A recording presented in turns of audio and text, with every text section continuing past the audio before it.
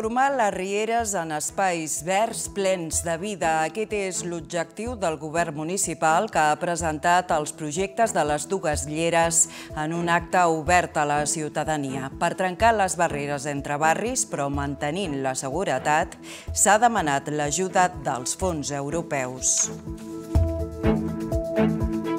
Bona nit. Terrassa es prepara per un estiu complicat pel risc extrem d'incendis forestals.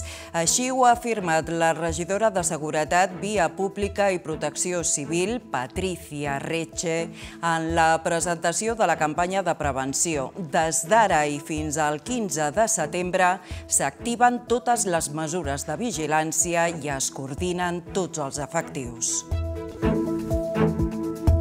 Queden 15 dies perquè comenci el Campionat del món femení d'hoquei herba a l'Estadi Olímpic. Aquest dimecres la Federació Espanyola ha organitzat un contacte amb els mitjans de comunicació.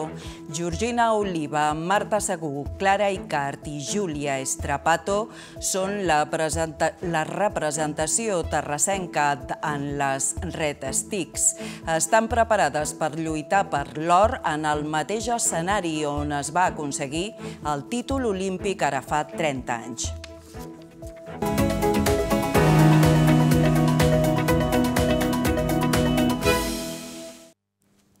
Transformar les rieres en espais verds plens de vida. Aquest és l'objectiu del govern municipal que ha presentat els projectes en un acte obert a la ciutadania per trencar les barreres entre barris, però mantenint la seguretat, s'ha demanat l'ajuda dels fons europeus Next Generation.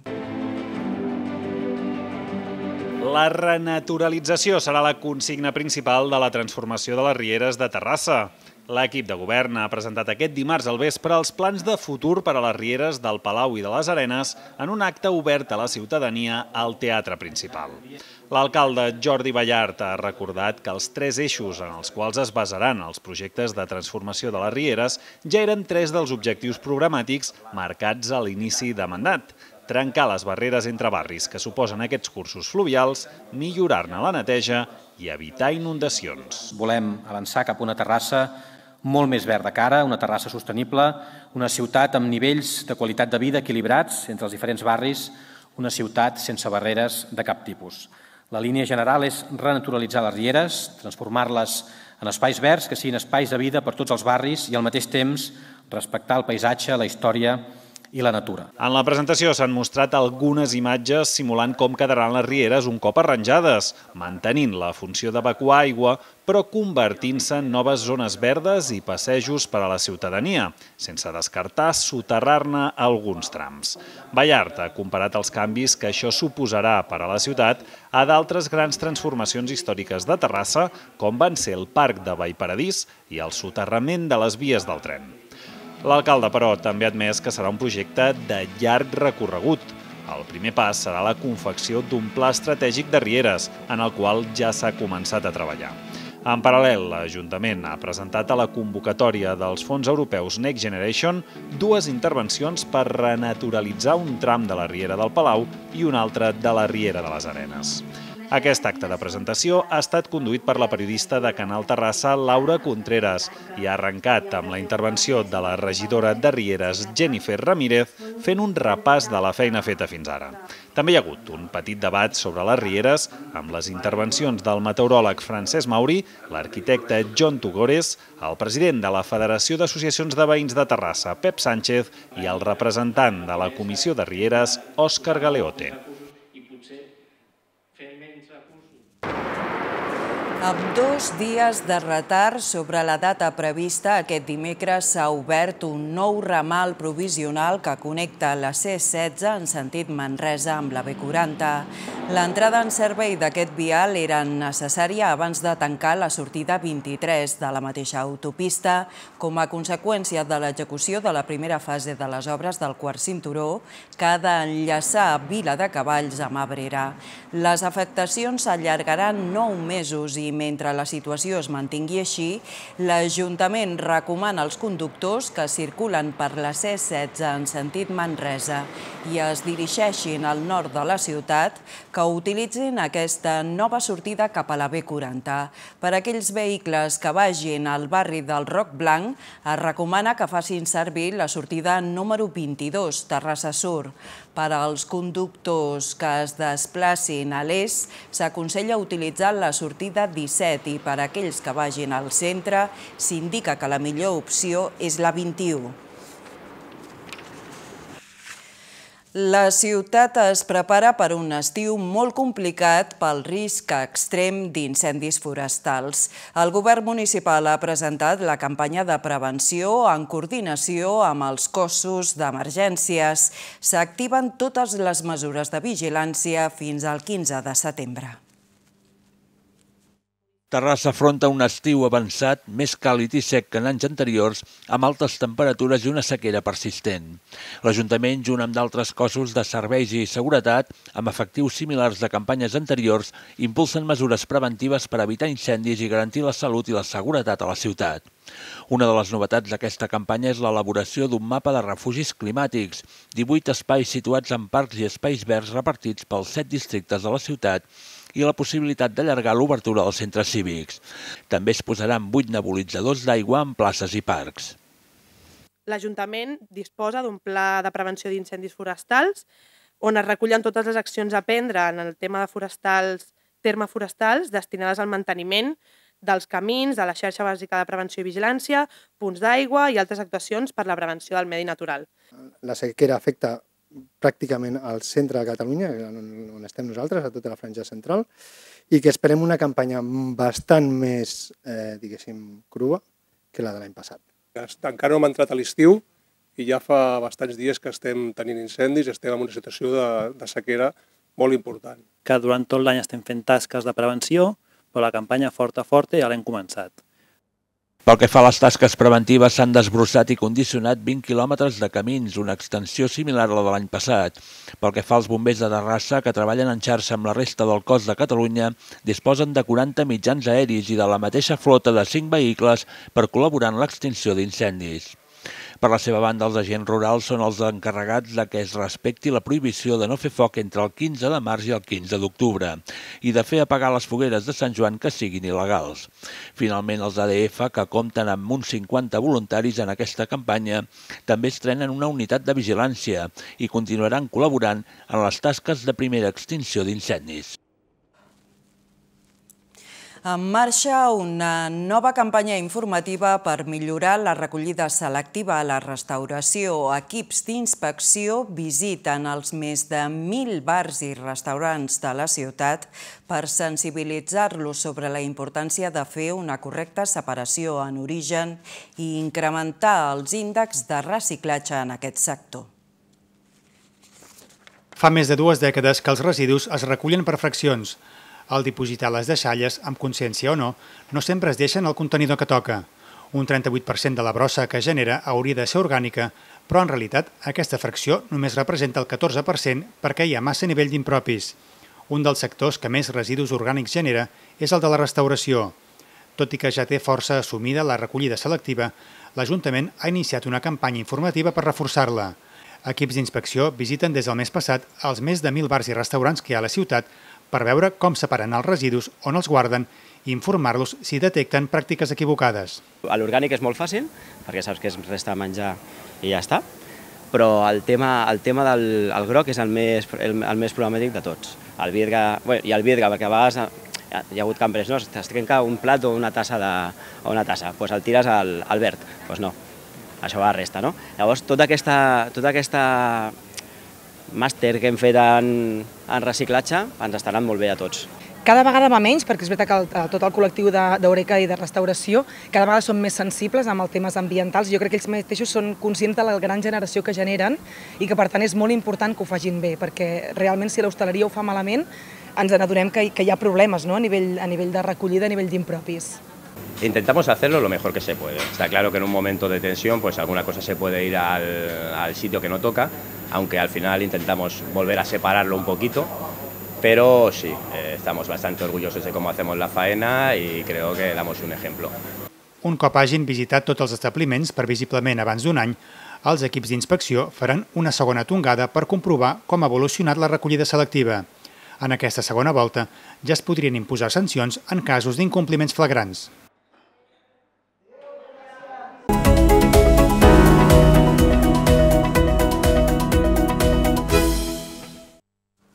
L'Oficina d'Informació a la Gent Gran ja fa unes setmanes que obre els dimecres al matí al Centre Cívic President Macià, al districte 6.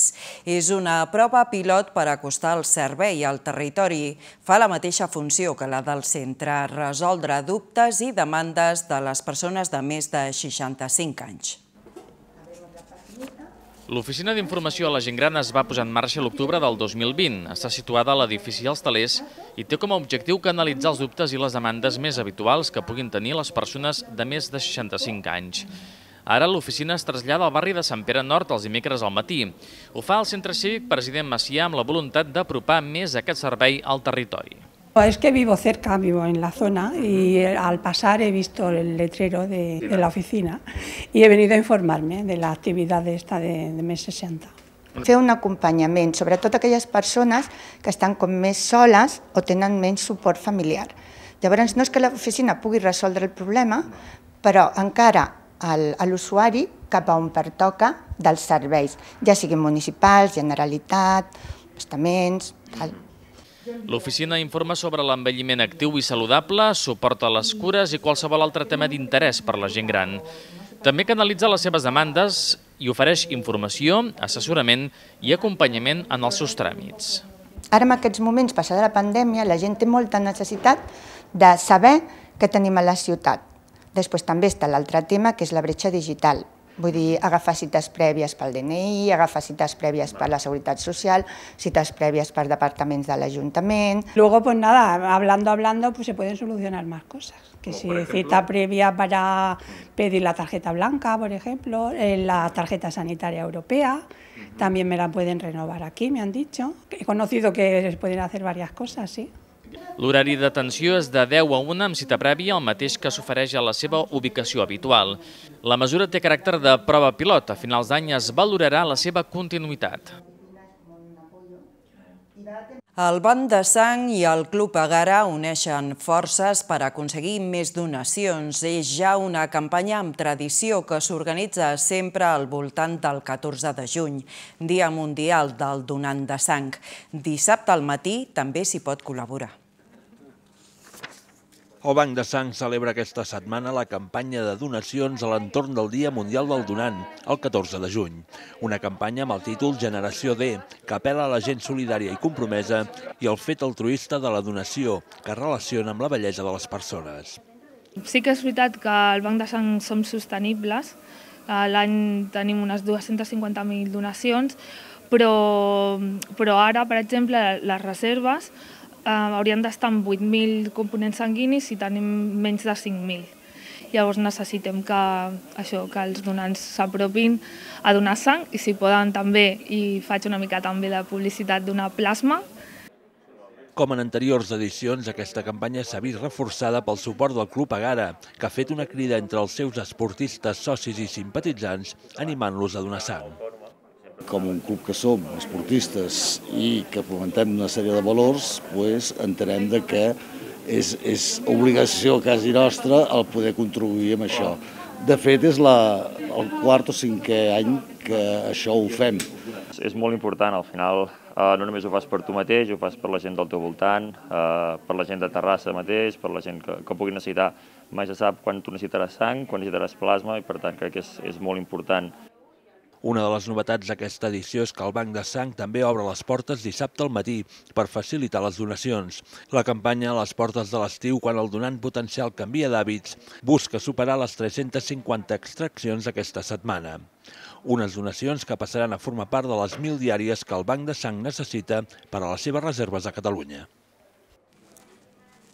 L'escola Ramon Pont està organitzant un Mundial de Futbol a Terrassa. És un projecte interdisciplinar on l'alumnat posa en pràctica tots els coneixements adquirits de totes les matèries per encarregar-se de tot.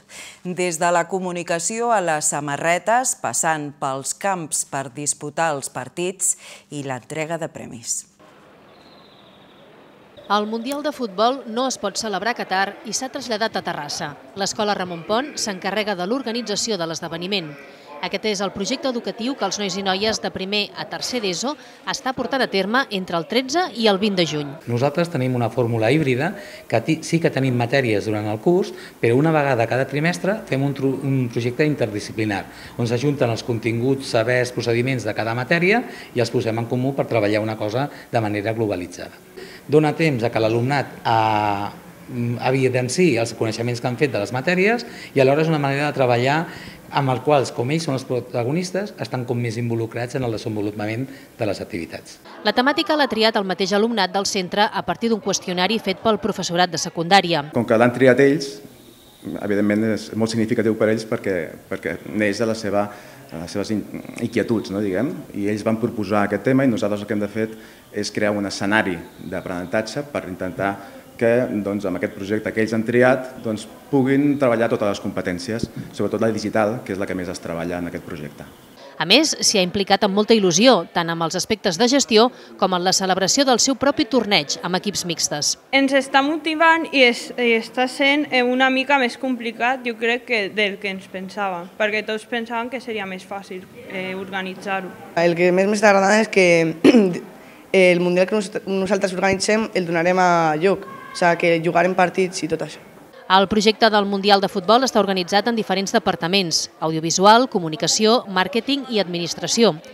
D'aquesta manera s'han dividit les feines de difusió i programació televisiva amb una entrevista a Joan Capdevila i la web oficial. També fan les samarretes, la decoració, el logo, la cançó i la mascota, a més de la gestió administrativa amb la recerca dels camps per disputar els partits, els hotels per allotjar els esportistes i cobrir les despeses d'organització i els premis. Volíem tenir en compte des d'aspectes com la justícia, la coeducació, aspectes eh, econòmics, de sostenibilitat del projecte i de, de reciclatge, vull dir, tot, per exemple, tot el tema del merchandising, veureu que és a partir d'elements reciclats o tot el tema de l'economia que sigui repartida entre tots els participants en igualtat de condicions. El dia 20 es farà l'acte de Cluenda que comptarà amb un partit entre l'equip guanyador i el professorat i l'entrega de guardons i reconeixements.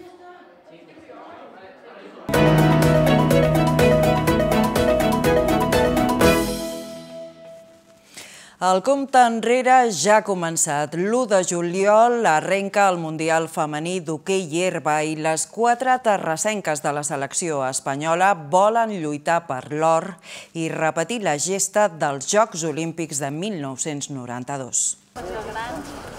Queden 15 dies perquè arrenqui el Campionat del Món femení d'hoquei herba a l'Estadi Olímpic de Terrassa. Aquest dimecres la Federació Espanyola ha organitzat un contacte de la selecció amb els mitjans de comunicació, un cop es va donar a conèixer aquest dilluns la llista de 20 convocades. Georgina Oliva, Marta Segur, Clara Icara i Júlia Estrapato són la representació terrassenca en les retestics i estan preparades per lluitar per l'or en el mateix escenari on es va aconseguir el títol olímpic ara fa 30 anys. Tothom té com molt bon record, lògicament, per la medalla d'or d'aquella de, de Barcelona 92, i sí que la gent té ganes com de tornar a viure aquesta experiència. Al final, si no m'equivoco, des de Barcelona 92 no s'ha jugat cap mundial ni res així tan important aquí, i poder-ho tornar a disfrutar a la ciutat, crec que tothom té aquestes ganes. Tothom entrena per guanyar, uh, sí que és que al final doncs vols una medalla i aquest és l'objectiu. Bueno, però sí, sempre n'hi ha una mica, no? perquè sempre es va jugar aquí, es va fer, una, es va fer un, una medalla històrica i a sobre és insuperable, o sigui, no pots, no pots treure més que un or olímpic realment, però, però sobretot motivació, perquè estar a casa envoltat de la teva, doncs, de, de la nostra gent i en aquest, en aquest estadi que és algo és, és espectacular. Sabem quina situació és, sabem que, que hi ha equips molt potents, però també és veritat que estem preparades per tot i crec que tenim un equip preparat per poder guanyar qualsevol. I ja et dic, ho prenem com una oportunitat perquè venim amb les millors condicions. El mundo aquí sueña con ganar medallas de oro, pero la realidad es eh, los equipos de mejor ranking no suelen ganar los, no siempre ganan los torneos, eh, ni sacan medallas. Eh, los equipos de casa no suelen, o no por, por defecto, eh, ganan los torneos tampoco, con lo cual la realidad es que nosotros vamos a prepararnos, hemos preparado lo mejor que hemos podido. Oliva, Segur i Car ja tenen experiència en grans tornejos internacionals, però per estrapar tot el Mundial serà el seu debut. Forma part de la nova fornada de joves talentoses de la selecció després de perdre's els darrers Jocs Olímpics. Realment som un equip molt jove, som un equip pràcticament nou, portem des de gener treballant juntes i per mi l'objectiu seria poder donar la sorpresa que la gent pensi, ostres, aquesta Espanya renovada és la, és la bomba, no? Abans de debutar contra Canadà l'1 de juliol, la Red Sticks tindran més partits de preparació contra Nova Zelanda i el Japó. La jornada ha inclòs un clínic amb els periodistes impartit per Carlos García Cuenca, de l'estaf tècnic de la selecció. Diumenge va tenir lloc la quarta prova puntuable per al circuit Activa't que organitza l'Associació Esportiva Mitja Marató i Mútua Terrassa. Va ser la primera edició de la cursa de l'Escola Pia que va comptar amb un centenar de participants. Els inscrits podien escollir entre tres distàncies, 3, 6 i 9 quilòmetres, amb sortida i arribada al centre educatiu. Els guanyadors en la prova reina de 9 quilòmetres van ser els mateixos que en la darrera cursa, la del Pla del Bonaire, Víctor Dobles es va imposar en la categoria masculina amb un temps de 32 minuts i 28 segons, seguit de Marc Garcia i Daniel Fernández. En l'apartat femení, triomf per a Carme Ballesteros amb un crono de 44 minuts i 28 segons. Van completar el podi Sònia Gordillo i Mireia Ferrer. La propera prova puntuable serà la cursa de Can Anglada del proper 9 de juliol.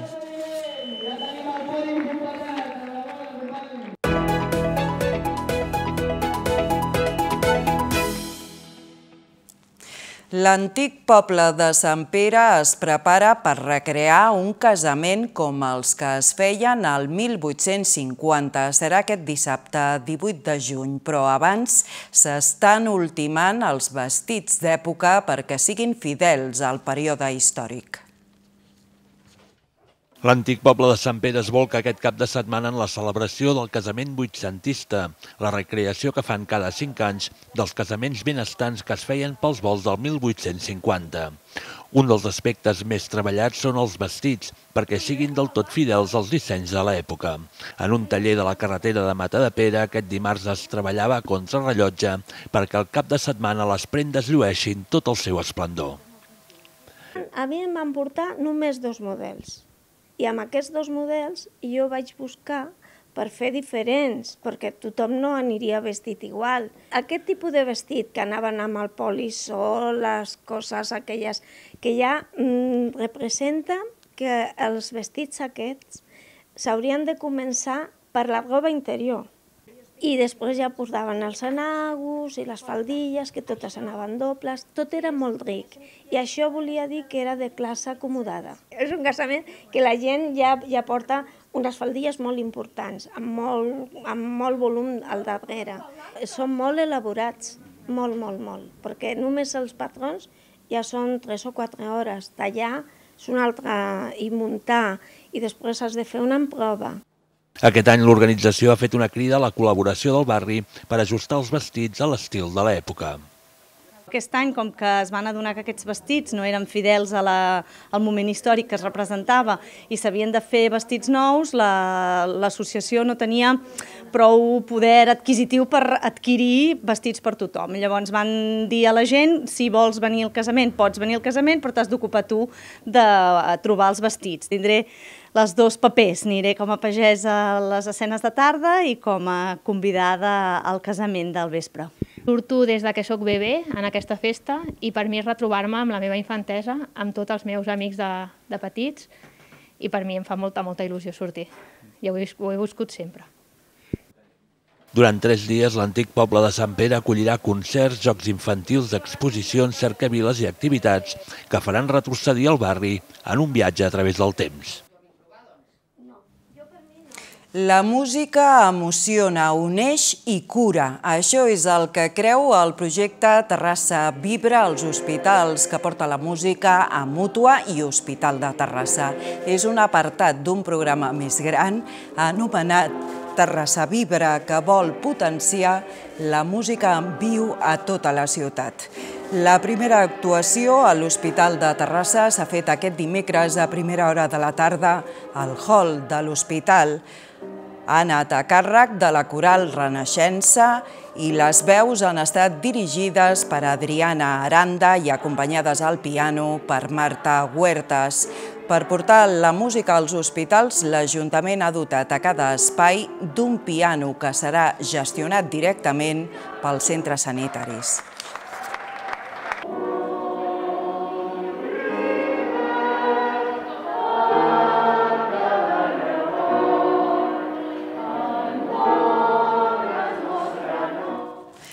Lil Dami, el cantant agarenc, ha publicat el videoclip de la seva nova cançó, titulada Supermercat.